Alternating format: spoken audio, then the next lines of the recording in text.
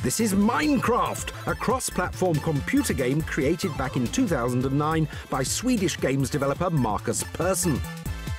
Minecraft is one of the biggest selling games of all time. 70 million copies have been snapped up. That's more than the UK's population. And it's still selling at the rate of 15,000 a day.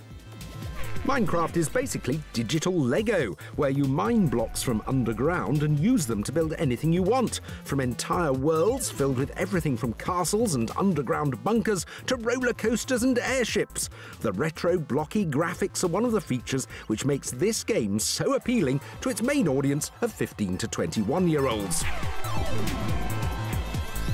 But what about the rest of us? Should we all be playing Minecraft? To find out, I called in the tech testers. School improvement advisor Joanna, We have our Minecraft game ready. I've got the instructions for setting up, so let's see how easy it is. and audiovisual programmer Brett would be using the best selling pocket edition of Minecraft on their tablets. Okay, I'm gonna play Minecraft. While I'd be trying the PC version. So, we're, we're in a mine trying to get some fuel. And to help me make sense of it, veteran gamer Daniel would be my guide.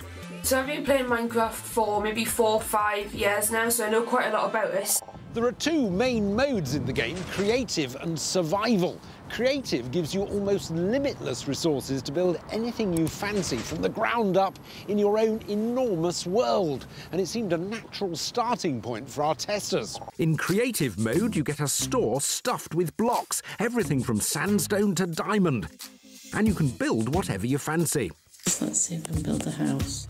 But it's all about experimenting. But You can do all kinds of builds. You can make things absolutely huge projects. You can do small little houses. You can do as much or as little as you want, really. I can actually create Weston-super-Mare Odeon in all its Art Deco glory. It is quite addictive. Kind of enjoying building a little house. Oh, look, it's my house. Maybe I could build Castle Grayskull. First impressions were all very positive. Then it was time for us to take it up a notch and switch to survival mode. The clue to survival mode is in the title. You need to survive. In this version of the game, you start with nothing but your bare hands. You use your hands to punch a tree, use the wood to make planks, turn these planks into a crafting table on which you make your first wooden axe. Then you start to mine. I've made a mine. Right, so what? I've dug into the ground. You need to dig for your materials and build a shelter as soon as possible to protect you from a variety of deadly creatures. Time's going by and nasty creatures come out at night. Oh my god. And all I've got four sticks and a button. Oh no. Ah, did it. I'm not enjoying this. It's called Zombie Nation, not Minecraft. Compared to the fun and frolics of creative mode, I found the time and commitment needed to do anything in survival mode What am I doing? infuriating. I'm going to have to stop again and search for advice. There was clearly much more to Minecraft than my tech testers and I had first thought. A whole community of fans have grown up around the game, keeping in touch via multiplayer mode. Perhaps, I- perhaps we have to stay down here with our torches on. or was that bad?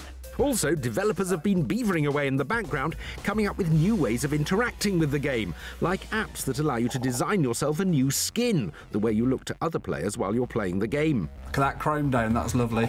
I've looked in the App Store to create some skins. There's loads of apps out there to support Minecraft. I have been trying to design a new skin.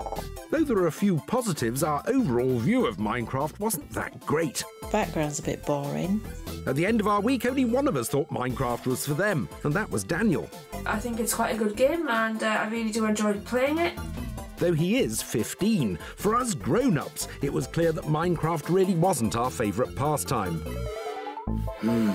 Most games I've played seem to have an obvious task or thing to do, whereas Minecraft seems to be really just doing stuff like, for the sake of it. There doesn't seem to be a mission or a final boss or an objective. I don't have time to sit and wander around uh, trees and build blocks. And I'd far rather spend the time doing something else. Watching films, reading books, doing photography, doing drawing, going for a walk, having a holiday. Really, sort of finding out about new things, finding out about the world, reading the news. Anything is better, probably, for me than playing Minecraft. Started his YouTube channel nine years ago and has since become a self taught record breaking internet celebrity. Whoops.